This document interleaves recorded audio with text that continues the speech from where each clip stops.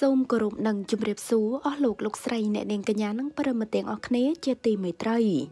ញាក់សាញ់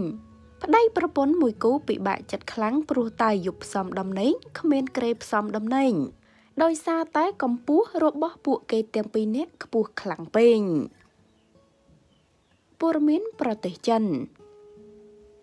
ពិតណាស់ ជុំវិញរឿងរ៉ាវនេះវាពិតជាល្បីខ្លាំងមែនទែននៅក្នុងប្រទេសចិននៅលើបណ្ដាញសង្គមតកតងទៅនឹង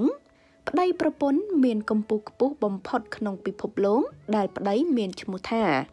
សានមិញអាយុ33ឆ្នាំមានកម្ពស់ខ្ពស់ជាងគេ គឺដល់ទៅ2.36ម៉ែត្រនិងភរិយាមានឈ្មោះថាស៊ូយ៉ានអាយុ29ឆ្នាំមានកម្ពស់ 1ម៉ែត្រចុច87សង់ទីម៉ែត្របើយោងតាមប្រភពព័ត៌មានបានឲ្យដឹងថាមិនត្រឹមតែមានកម្ពស់ខ្ពស់ជាងគេនោះទេ ប្តីប្រពន្ធនេះក៏ជាកីឡាករល្បីល្បាញផងដែរប្តីគឺជាកីឡាបាល់បោះម្នាក់ចំណែកភរិយារបស់គាត់គឺជាកីឡាបាល់អោមនៅក្នុងការប្រកួតកីឡាជាតិលោកក៏បានជួបនឹងស្គាល់ជាមួយនឹងនាងស៊ូយ៉ាន ក្រោយពេលស្គាល់គ្នាបានរយៈពេល4ឆ្នាំអ្នកទាំងពីរក៏បានរៀបការជាមួយគ្នាទោះបីជាមានកម្ពស់ខ្ពស់បែបនេះអ្នកទាំងពីរមិនពិបាកនឹងកម្ពស់របស់ខ្លួនដែរប៉ុន្តែក៏មានចំណុចលំបាកដែរហើយអ្នកទាំងពីរក៏បានចែករំលែកឲ្យដឹងថា ពេលធ្វើដំណើរទេសចរម្ដងម្ដង ពួកគេពិតជា ប្រទះនឹងការលំបាកច្រើនណាស់រួមមានរថយន្តឡានក្រុង និងរួមទាំងយន្តហោះផងដែរនៅក្នុងសន្តាគារក៏លំបាកព្រោះភាកច្រើនមិនអាចឈរត្រង់ខ្លួនបានឡើយពេលចូលក្នុងរថយន្តម្ដងម្ដងខ្ញុំត្រូវប្រឹងប្រែងទៅអាចចូលអង្គុយខាងក្រោមបាន វាជារឿងស៊ាំទៅហើយសម្រាប់ពួកខ្ញុំ ហើយពួកគេក៏បានចែករំលែកបន្តថា ក្រែផ្សំដំណេកនាថ្ងៃរៀបការរបស់ពួកគេ យើងត្រូវកំងក្រែដែលមានទំហំពិសេសវែងជាងធម្មតាដល់ទៅ4ម៉ែត្រពួកគេ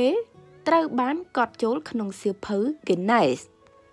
ពួកគេក៏មានបំណងប្រាថ្នាថាកូនរបស់ពួកយើងនឹងមានកម្ពស់ខ្ពស់ខ្លាំងមិនចាញ់ឪពុកម្ដាយរបស់គេឡើយចាពិតជាអស្ចារ្យមែនទែន ប្តីប្រពន្ធមួយគូនេះមានកម្ពស់សុទ្ធតែខ្ពស់ខ្ពស់ខ្លាំងស្វាមីមានកម្ពស់ដល់ទៅ2.36សង់ទីម៉ែត្រចំណែកឯភរិយា គឺដល់ទៅ1.87សង់ទីម៉ែត្រ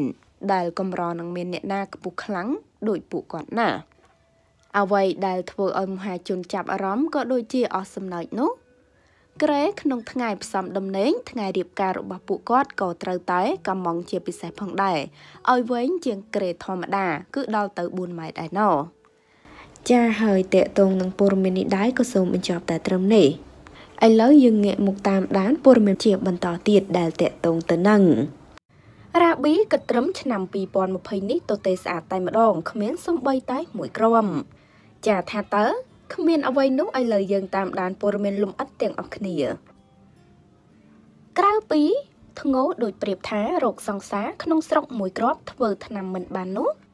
កញ្ញារ៉ាប៊ីវាចាថានាងក៏គ្មានប្រុសស្នេហ៍នៅបរទេសដែរអញ្ចឹងសរុបទៅឆ្នាំ2020នេះបេះដូងរបស់នាងគឺនៅទទេស្អាតតែម្ដងមិនទាន់មានប្រុសណាមកធ្វើជាម្ចាស់ឃុំក្រុងឡើយ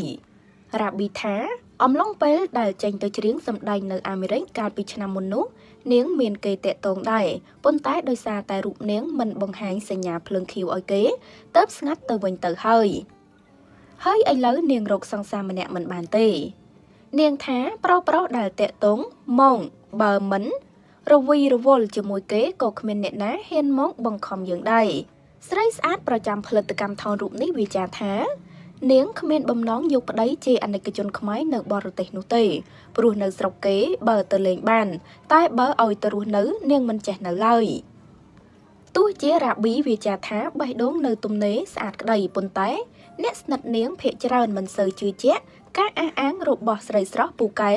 លេងក្បាច់រំរូបនេះឡើយ។ ដោយគេសំអាងថាអំឡុងពេលដែលរ៉ាប៊ីថាអត់សង្សារនេះនាងកាន់តែប្រែប្រួលជីវភាពស្ទើរតែមិនគួរឲ្យជឿឡើយ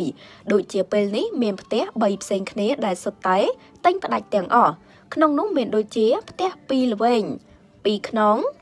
តម្លៃជាង200,000ដុល្លារនិងផ្ទះវីឡាមួយខ្នងទៀតតម្លៃ150,000ដុល្លារហើយនាងជិះរថយន្ត3គ្រឿងឆ្លាស់គ្នាគឺ Luxy NX 200T Starring និង Luxy RX 300ហើយនាងក៏មានដីធ្លីមួយចំនួនថែមទៀតផងដែរការមានទ្រព្យមិនក្រោមកន្លះលានដុល្លារតាមរយៈការប្រឡូកសិល្បៈទើបតែប្រើពេលរយៈពេលខ្លីនេះត្រូវបានគេសង្ស័យថារ៉ាប៊ីមានប្រុសស្នេហ៍ជាមន្ត្រីធំឧបត្ថម្ភនាងនៅក្រោយខ្នងប៉ុន្តែគ្រប់ពេលរ៉ាប៊ីតែងថានាងគ្មានប្រុសណាចិញ្ចឹមនាងឡើយគឺជីវភាពនាងបានសំរុំពេលនេះគឺដោយសារតែអាជីពសិល្បៈយ៉ាងណារ៉ាប៊ីបញ្ជាក់ថា ប្រុសសុំចិញ្ចឹមមិនខ្វះទេគ្រាន់តែនាងមិនទទួលប៉ុណ្ណោះព្រោះខ្លាចជាប់ទ្រង់ស្នេហ៍នាងថានៅរដូវ COVID-19 មិនទាន់ស្ងាត់នេះនាងក៏ដូចជាតារាផ្សេងផ្សេងទៀតដែរគឺបាត់បង់ប្រាក់ចំណូលដូចគ្នាប៉ុន្តែនាងមិនជួបវិបត្តិសេដ្ឋកិច្ចនោះទេព្រោះមិនជាប់បង់រំលោះនៅធនាគារឡើយដោយសារទាំងផ្ទះនិងរថយន្តនាងសុទ្ធតែទិញបង់លុយផ្ដាច់រ៉ាប៊ីបន្ថែមថា ពេលនេះក្រៅពីឡើងឆាកតាមទូរទស្សន៍នាងក៏មានប្រាក់ចំណូលតាមរយៈការធ្វើជាទូសឆន្ទៈឲ្យផលិតផលមួយចំនួនផងដែរចាពាក្យដែលថា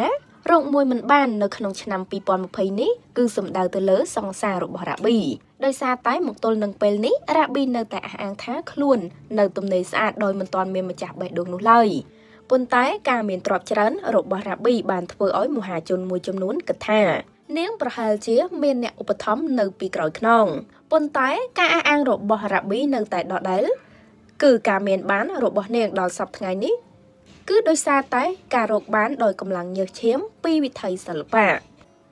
ចុះចំណែកបងប្អូនវិញយល់យ៉ាងណាដែរសូមចូលបញ្ចេញមតិម្នាក់មួយចាហើយតេតងនឹងព័ត៌មាននេះដែរក៏សូមបញ្ចប់តែត្រឹមនេះអរគុណបងប្អូនទាំងអស់គ្នាសូមចុច Subscribe និងរូបកណ្ដឹងដើម្បីទទួលបានព័ត៌មានថ្មីៗជាបន្តទៀតសូមអរគុណសូមគោរពលា